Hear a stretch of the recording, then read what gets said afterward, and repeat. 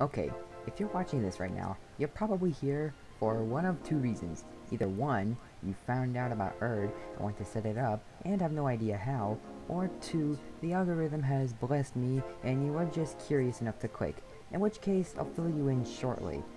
Or maybe you're from the Metroid Prime modding Discord server, and you came to see this, and if that's the case, hi. Anyway, to anyone who doesn't know what URDE is, it's simply a reverse engineered version of Retro Studios in-house engine. It allows you to run Metroid Prime natively as if it were a PC port. Think Mario 64 PC port, but for Metroid Prime. Now it only runs Prime 1 at the moment, however support for Prime 2, 3, and even Donkey Kong Country Returns is planned, just don't expect it for a while. Now before I start, here's a quick disclaimer. This is a tutorial on how to extract the game and run it. This is not a tutorial for building URDE from source. And this tutorial is also directed towards Windows. I'll consider a tutorial for Linux later on, just not right now. Lastly, URDE only supports GameCube controllers at the moment, so if you don't have that or an adapter, you'll have to use keyboard and mouse to play, and those controls are very janky, so I don't recommend that. With all of that out of the way, let's start. So first, you'll need HECL GUI. This program will help determine which version of URDE will work best for your PC, and will make the extraction process a lot simpler. So download that, extract it, then run it. When running HECL GUI, look at Vector ISA. The green bar shows you which ISAs your CPU supports, which in this case, mine supports all the way up to AVX2. Then click on Update Track and switch to Development. Then right below that, click here and choose the uh, version of URDE you'll need. Then click on Extract Directory on the top and choose the folder where you want to store your URDE download. Then click Download. It shouldn't take very long.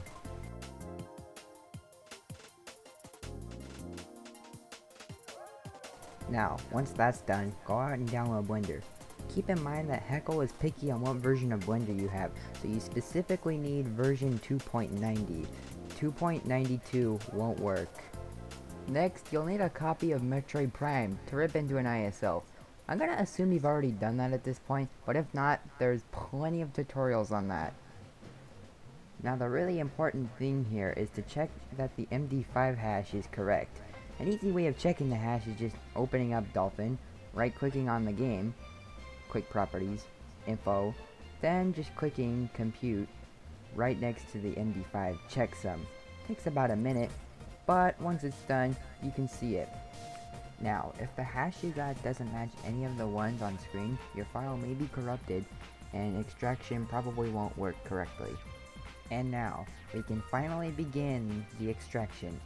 So, open up HECL GUI again, click extract, then locate the spot you have your ISO in. Click it, then just wait for it to extract. Extraction takes a little while at times, so uh, you can just let it run in the background. Okay, so now that that's done extracting, you can just go on and click package. I hope you're still patient, because the packing process takes even longer. Just a heads up. Alright, so the packaging is now done, and URDE is ready to go. So, now we can quick launch, and start the game. So, I'll go ahead and start that, just to show it's working.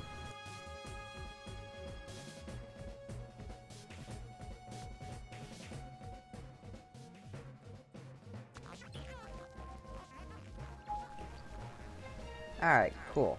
So now it's working. Alright, I hope this tutorial has helped you. If you got any questions or whatnot, just comment below. I'll take a look. Anyway, see you around.